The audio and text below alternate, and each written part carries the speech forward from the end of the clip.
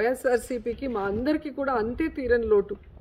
ఎందుకంటే ఆయన నాకు తెలిసి ఎవరి గురించి రాంగ్గా మాట్లాడింది కూడా నేను ఎప్పుడు వినలేదు ఎవరి మీద కోపడింది కూడా చూడలేదు. అంత నాన్ కాంట్రవర్షియల్ అందరితో ఫ్రెండ్లీగా ఉంటారు అందరితో కూడా అసలు డౌన్ టు ఎర్త్గా ఉంటారు. అంత పెద్ద ఫ్యామిలీ వాళ్ళ నాన్న ఎంపీ గా ఎంతో పేరు ప్రఖ్యాతులు సంపాదించారు. అలాగే వాళ్ళు బిజినెస్లో ఎంతో ఎత్తులో ఉన్నా కూడా ఎప్పుడూ కూడా గర్వం లేకుండా చాలా నార్మల్గా అందరితో ఫ్రెండ్లీగా ఉండటం మనం అందరం కూడా గమనిస్తాం.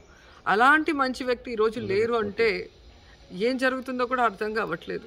ఎందుకంటే మొన్ననే మనం పునీత్ రాజ్ కుమార్ని చూసాం. సో ఒక ఫిట్ బాడీ ఒక హెల్తీ లైఫ్ని ఒక హెల్తీ ఫుడ్ తీసుకునే వాళ్ళకి ఎందుకు ఇలా జరుగుతుంది అనేది అర్థం కావట్లేదు. అంటే కోవిడ్ వచ్చిన తర్వాత పోస్ట్ కోవిడ్లో చాలామందికి హార్ట్ స్ట్రోక్స్ వస్తున్నాయి. అలా ఏమన్నా జరిగిందా? ఎందుకు ఇలా జరిగింది అనేది ఇంకా ఎవరికి అర్థం కాని పరిస్థితి. సో మాకు వైఎస్ఆర్సీపీలో ఉన్న నాయకులందరికీ ఇంత బాధ ఉంటే ఇంకా ఆ కుటుంబ సభ్యులకి ముఖ్యంగా వాళ్ళ వైఫ్ పిల్లలకి అసలు వాళ్ళు తేరుకోలేని షాక్ అని నేను అనుకుంటున్నాను. అండ్ ఆ కుటుంబం రాజశేఖర రెడ్డి గారితో ఎంత సన్నిహితంగా ఉంది. రాజశేఖర రెడ్డి గారి కోసము ఆ కుటుంబం జగనన్నకి సపోర్ట్ చేసి కష్టకాలంలో ఏ విధంగా వెన్నంటి ఉంది మనం అందరం కూడా చూసాం. కాబట్టి ఈరోజు జగనన్న కూడా ఈ వార్తను తట్టుకోలేడని నేను అనుకుంటున్నాను. ఎందుకంటే నా కళ్ళ ముందు నేను చూశాను జగనన్న. ఒక చిన్నప్పటి నుంచి కలిసి పెరిగిన ఫ్రెండ్స్ లాగో లేదా కజిన్స్ లాగో అంతా బాగా ఉంటారు వాళ్ళిద్దరు.